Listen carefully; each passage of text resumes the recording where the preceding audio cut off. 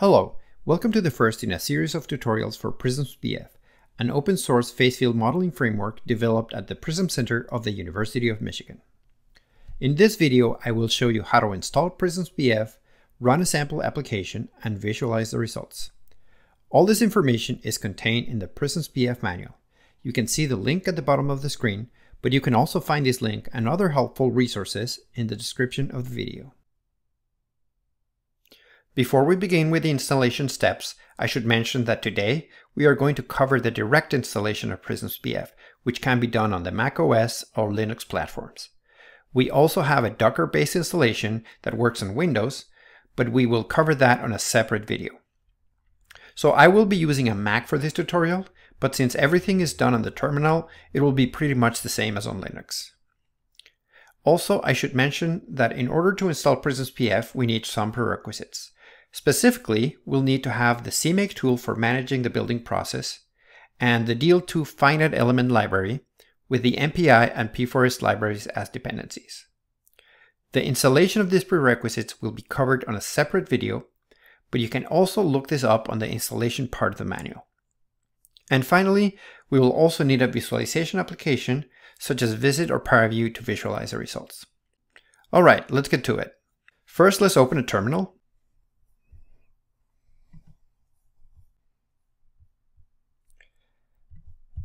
Now go to the directory where you want to install PRISMS-PF. In my case, I decided to create a directory called PRISMS-PF, and this is the path. But you can choose whatever directory you want. Next, we're going to download PRISMS-PF from the GitHub repository by typing git clone and then the URL of the Git repository. So we're going to get the URL from the GitHub page, which is this one. Let's just copy it, paste it, and it's cloning the repository. This should take a few seconds.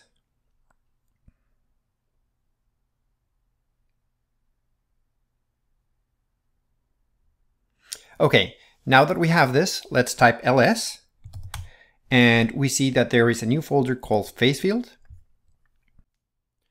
We're going to go to this folder, type ls again, and before we compile the core library, we're going to make sure that the compiler knows where to find the directory where deal.II is installed. So we're going to type echo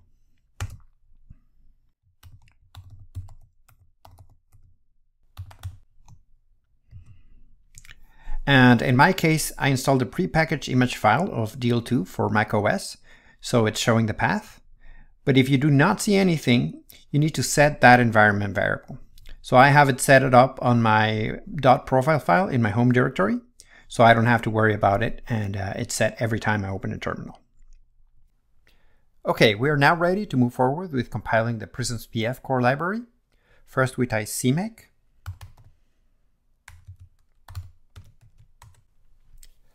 Uh, this will manage the build process and create a makefile. And we'll do make to compile. And just to speed up the process a little, we're going to use for course by setting the dash J flag.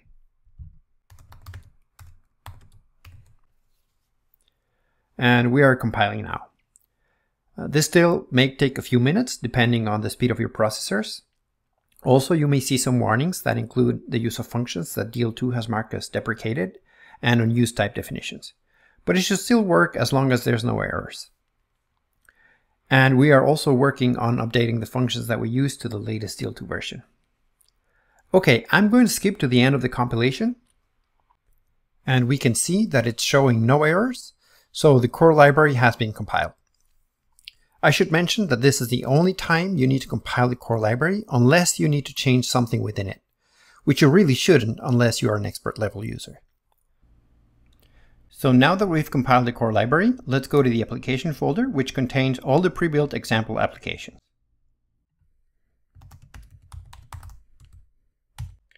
We do ls-l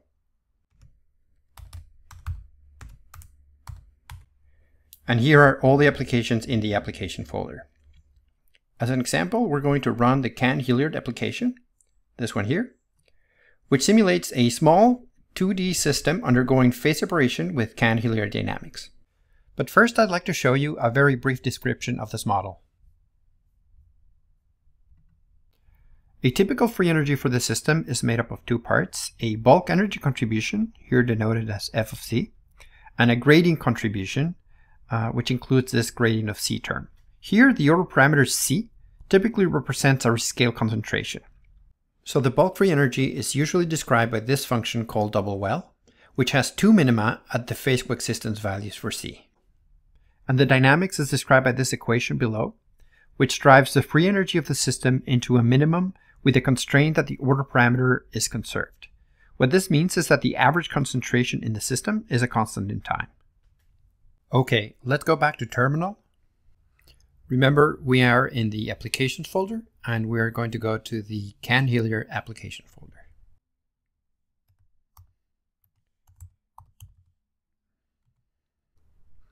We type ls and these are the files inside the application folder. Let's do a quick overview of the files in this application. Parameters.in, this one here, is a parsed text file where the user sets up the parameters of the simulation, such as mesh size, time step, boundary conditions, and many others. Uh, in this case, parameters adaptive.in is another parameters file which is very similar, except it has the settings for an adaptive mesh.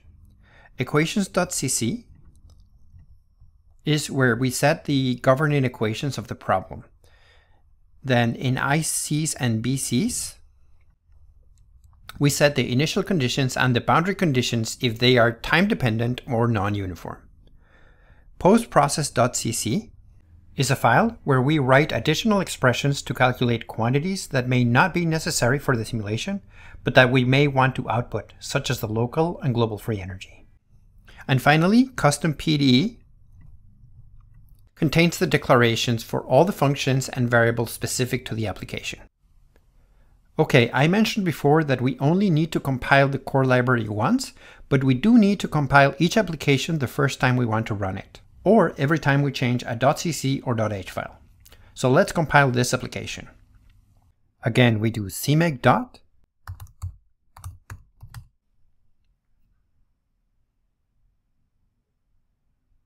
This will create a make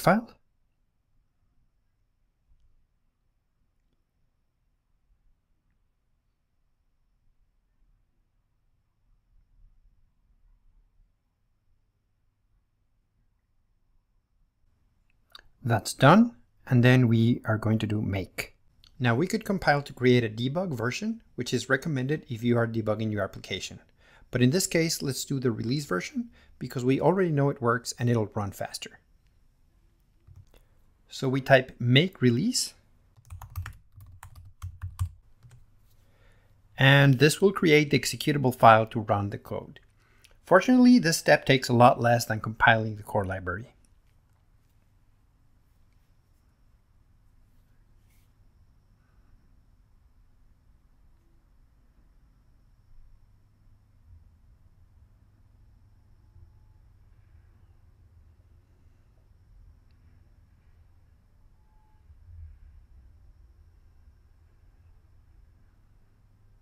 Now it's done. And if we list the files so that the most recent ones appear at the bottom,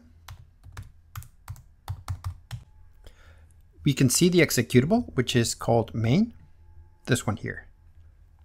Now there are a couple ways to run the code. We could just execute it using dot slash main, but we can also run in parallel using MPI run. So let's do that and run in four processors.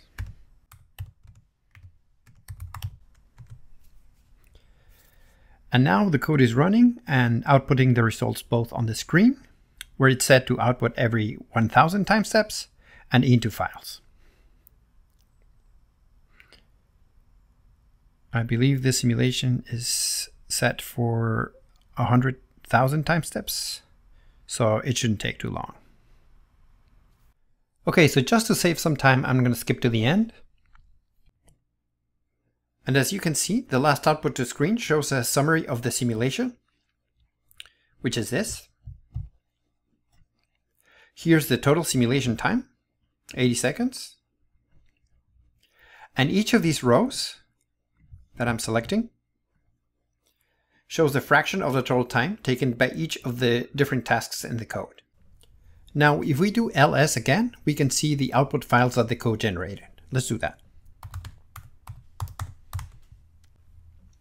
Now, the VTU files contain the values of all the field variables at each point of the mesh, these files. You can see that each of these files has a number, and this number corresponds to a time step. For this simulation, we set the number of time steps to 100,000 and the number of outputs to 10. So the simulation generates one output every 10,000 time steps.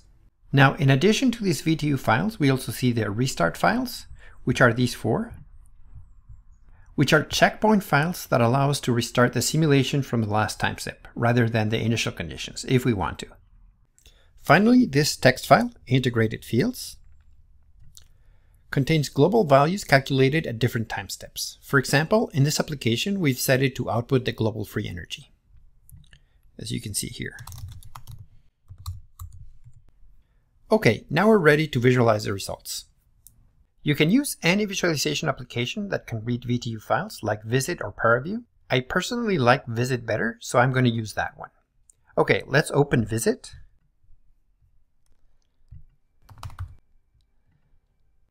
Let's click on Open. Then copy the location of the files.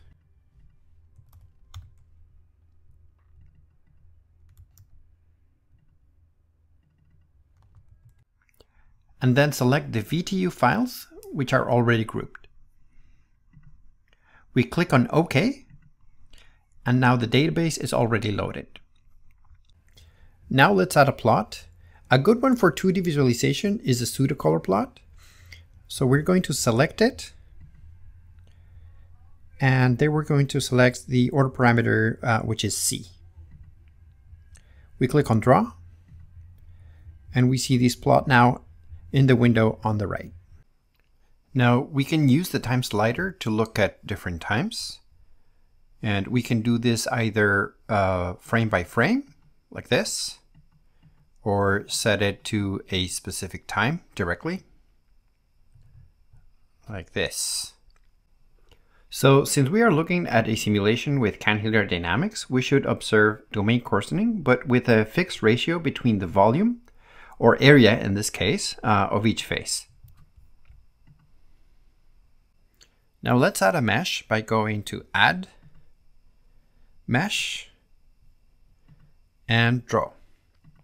This is useful to see if the mesh is fine enough to resolve all the structures in the system, in particular interfaces, and it looks like it is in this case, and it will also be very helpful for simulations that use adaptive mesh. This software is also very powerful to do post-processing analysis, such as computing the integral of fields, plotting along a specific line, look at contour lines, and many other features. And we will look into some of these features in upcoming videos. So we'll conclude this video here, and just to recap, Today we've covered how to install PRISMS-PF, run a simulation, and visualize the results.